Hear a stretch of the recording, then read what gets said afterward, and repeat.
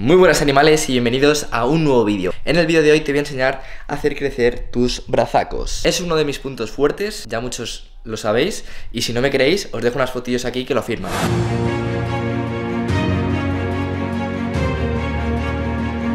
O no, dependiendo de lo que te parezca a ti. El brazo está constituido por el bíceps braquial, que tiene dos caras, la cara larga y la corta, y el tríceps, que está compuesto por la cara larga, medial y la lateral. Entonces, a enseñar unos ejercicios que van a desarrollar, se van a centrar en desarrollar estos músculos de la forma más aislada posible. También tenéis que tener en cuenta que los ejercicios multiarticulares ayudan muchísimo. Yo estos brazos no los tengo de hacer solo pull de bíceps en barra baja, extensiones de tríceps en suelo y demás estos brazos los tengo que hacer flexiones, más laps, remos, ¿entendéis? No solamente hay que hacer un trabajo aislado, pero os voy a mostrar ejercicios más específicos posibles, porque si lo realizáis vais a poder lograr tener unos brazos más grandes. El tríceps es tres cuartas partes del brazo, así que es importante que no lo dejéis de lado, porque vale, el bíceps es muy llamativo y todo el mundo quiere tener un gran bíceps, pero el tríceps también hay que darle caña.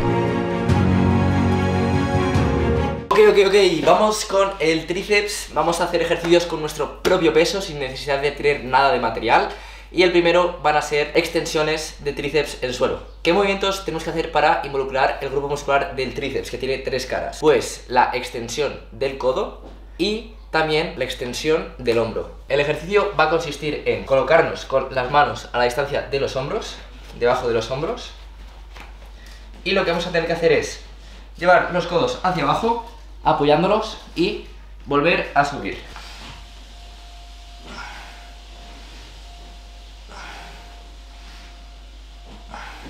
El fallo común que yo veo es que cuando la gente adelanta las manos más, mucho más que sus hombros, recorta mucho el rango de movimiento. Es decir, si partes de aquí, fijaros qué fácil es apoyar los codos en el suelo. El movimiento es muy corto. En cambio, si cambiamos la posición de las manos y nos encontramos justo por debajo de nuestros hombros, fijaros. Lo veo mucho por vídeos y es algo que realmente quería remarcar para que quede aquí grabado.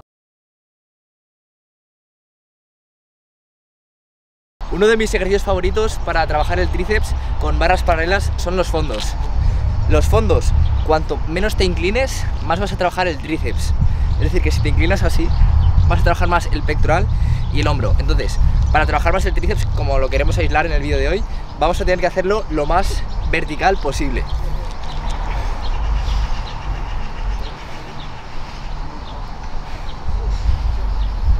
También lo podemos hacer en la barra y usar una barra única.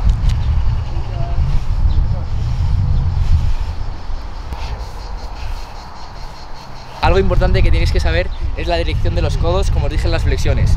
Los codos tienen que ir mirando hacia atrás porque de esta manera lo vamos a trabajar.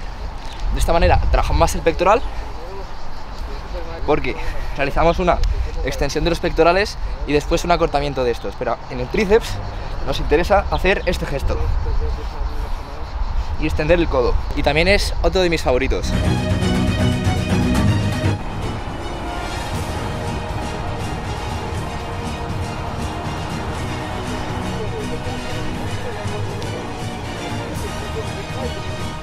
¿Y por qué aquí uso el agarre supino para trabajar el bíceps? Bueno, lógicamente porque el bíceps, la función del bíceps es la explicación del antebrazo y la flexión del codo. Pero además vamos a limitar lo que es la extensión de hombro y no vamos a trabajar tanto el dorsal ancho. Por eso vamos a aislar un poco más el bíceps si hacemos las dominadas supinas. Supina. Fijaros los codos que se mueven menos también. Estoy aquí, en vez de estar aquí, como en una dominada prona. Estoy aquí. Si estoy aquí, pues ya trabaja un poco más la extensión, pero en cambio si estás aquí, la trabaja menos. Y fijaros el codo que se mueve menos. Ok, animales, vamos con un ejercicio clásico, clásico, clásico de gym. Es un curl alterno con mancuernas. Estas son del Decathlon, 10 kilos y 10 kilos por cada una. Y vamos a hacer curl de bíceps alterno. Y el agarre va a ser en supino, es decir, el antebrazo va a estar en supinación. Errores que tienes que tener en cuenta. A la hora de subir la mancuerna, no tienes que llevar el codo hacia arriba. El codo tiene que permanecer en una posición fija, ¿vale?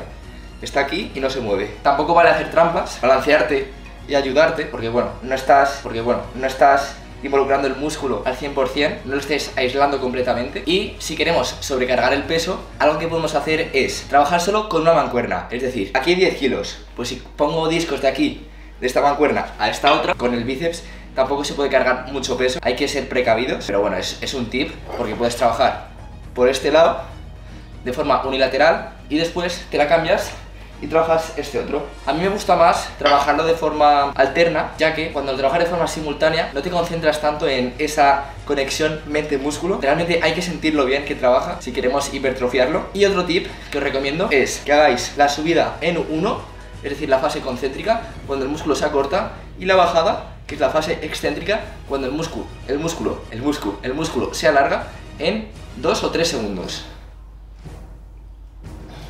Subimos en 1 y bajamos en 3. De esta forma, si no le puedes añadir más peso y solo puedes tener 10 kilos por, por, mancuerna, te aseguras de poder añadirle más intensidad. Bueno animales, pues estos han sido todos los ejercicios que yo os recomiendo para tener unos brazacos de unos verdaderos animales y deciros que para el método yo os recomiendo que trabajéis todos estos ejercicios de 6 a 12 repeticiones a 4 series. En ese rango sería bastante óptimo. Además, si queremos meter estos ejercicios en rutinas, os recomiendo que sean en días de tracción y de empuje separados y con una frecuencia máxima de dos días por semana cada, patrón de movimiento. Y los descansos os recomiendo que sean de un minuto, como muy muy poco, hasta dos minutos, incluso tres, si son necesarios para realizar las repeticiones y todos los ejercicios con la técnica lo más correcta posible. Vale, ¿cómo he conseguido estos brazos? Desde mi experiencia personal, ¿cómo lo he hecho? Yo ya sabéis que llevo entrenando cinco años y la verdad que tengo una genética agradecida en cuanto a bíceps y tríceps. ¿Cómo lo he hecho? Básicamente, en cuanto a entrenamiento, entrenar a una intensidad adecuada, altas intensidades, ejercicios multiarticulares, yo no me he puesto a hacer todo el rato ejercicios analíticos como algunos de los que os he mostrado en este vídeo, sino los más básicos, los fondos, las dominadas, las flexiones, remos australianos. He ido sobrecargándolos poco a poco, aumentando la intensidad de estos, hasta por ejemplo llegar, en vez de dominada alta, muscle up, en vez de fondo, flexión a pino. Y en número 2, una dieta, una dieta en la que estés en superávit calórico, es decir, que ingieras más de lo que tu cuerpo necesita, de lo que tu metabolismo basal necesita, es decir, de lo que necesitas para sobrevivir. Tienes que ingerir más calorías para poder crecer esos brazacos. Necesitas generar nueva masa muscular comiendo más, más proteína. Yo os recomiendo subir los gramos de proteína a 2,5 gramos por peso corporal, como mucho 3 y también pues lógicamente carbohidratos y grasas te tenéis que subir. Es complicado porque si te lo cuentas tú tienes que saber tener conocimientos y demás. Lo más fácil es contratar a un nutricionista.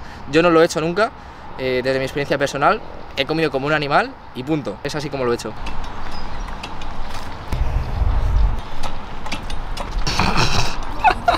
Siempre busqué el respeto y nunca la fama. Cuando subí mi primer tema, uno se ría. Y la última vez que me vio me dijo, hermano, está subiendo. Y le dije, ¿acaso pensaba que no?